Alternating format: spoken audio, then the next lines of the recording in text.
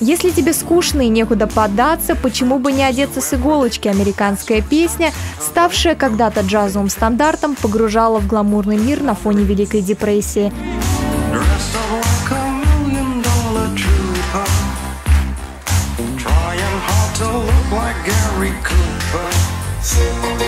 Название отсылает к сети фешенебельных отелей Рица. Там сорили деньгами богатые европейцы. И сегодня на выпускном Game of Birds в стиле диска этот хит 30-х мог бы обрести второе дыхание. Потому что если вам скажут, что здесь не встречают по одежке, не верьте им. Всем остальном хотелось соответствовать нашему вузу, чтобы это было строго, лаконично и благородно. Мы объездили половину Москвы в поиске данного платья.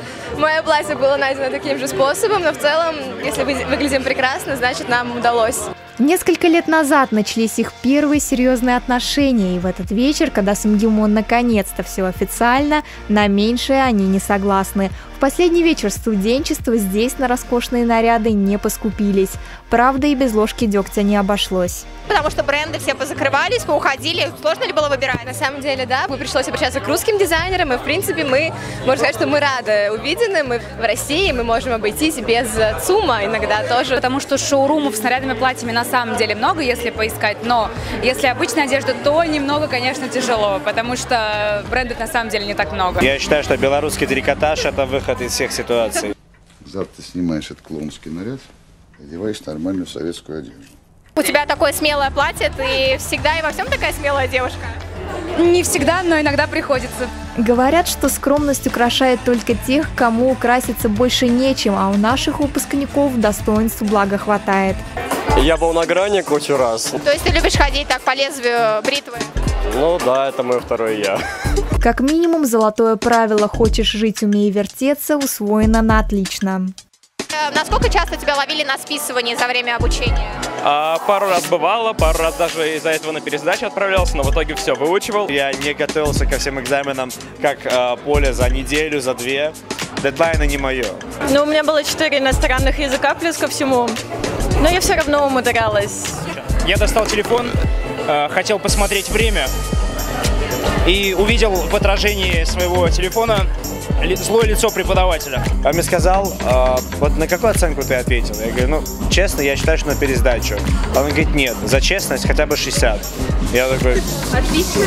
Да. И теперь, когда остросюжетный сериал под названием «Как закалялась сталь» подошел к своему финалу, перемотать назад уже нельзя. Остается лишь слить несколько спойлеров для тех, кто только оформил подписку. А, а, самое главное, что дает этот вуз, это социализация. А на бакалавриате гуляй рванина. Просто нужно знакомиться, нужно общаться. Ребята, найдите то, что вам интересно, то, что просто будоражит ваше сознание, то, что для вас реально очень важно. И бейтесь за это. Найдите эту одну вещь, и двигайтесь только к ней. Никакие деньги там, ничего в мире вам этого не заменит. Один лишь интерес. Вот что важно в нашей жизни. А, а вот как соблюсти баланс между тусовками и учебой МГИМО? Не тусить. Ну да ладно, ты не тусил? Я не тусил. Выпуск и посвят – это два разных вида спорта. Да? То есть, э, если посвят это, ну, я не знаю, это гохотки, то выпуск это полноценная шахматная партия. Еще такой вопрос. Э, скажи, пожалуйста, как отличить э, первокурсницу от выпускницы? Вот как не перепутать? Ну, первокурсница тебя очень быстро напишет, а в остальном девочки взрослеют очень быстро. Первокурсница, она обычно скромная очень. Женщина опытная, сразу видно, сразу видно со стороны. Я надеюсь, что девочки будут благоразумными. Надо искать хорошего мужа. А где его искать? Это МГИМО. Не учеба единой, наши студенты время зря не теряли. Так что то здесь, то там, на радость мамам и одногруппникам, мелькают сладкие парочки. Некоторые голубки даже готовы поделиться своей лавстори на камеру. Э, Леша написал мне в Инстаграме, и э, мы еще какое-то время просто общались в соцсетях, и потом просто встретились, даже немножко не узнали друг друга в стенах универа. Думаете, МГИМОшные пары отличаются от всех других пар? Мне кажется, да, у них есть особый вайб. Ну, я тоже так думаю. У тебя такой грустный взгляд. Серьезно? Как будто бы ты женишься, а не МГИМО оканчиваешь. Я реально женюсь через Да? неделю просто, поэтому и грустный. Ты реально женишься через неделю? Конечно. Почему так рано? Почему рано? Решил типа все вместе объединить, все важные этапы в твоей жизни. Так совпало. Впрочем, не страшит выпускников не только серьезность намерений, но и свое будущее. Год выдался непростым, и когда последние несколько лет международные отношения были главными отношениями в твоей жизни, казалось бы, ну у кого холодок нет-нет, да и пробежит. А я вообще безнадежен. Потому что у меня папа дипломат, потому что учусь в МГИМО. Но это не про наших, они переиграют. А ты вообще слышал, что у МГИМО очень много хейтеров и недоброжелателей, особенно в последнее время? Да, слышал. Ну, страх есть, конечно, потому что это всегда неопределенность. Ты заканчиваешь институт, непонятно, что дальше, но я думаю, все будет круто, потому что это же МГИМО, такое классное образование, мало у кого есть.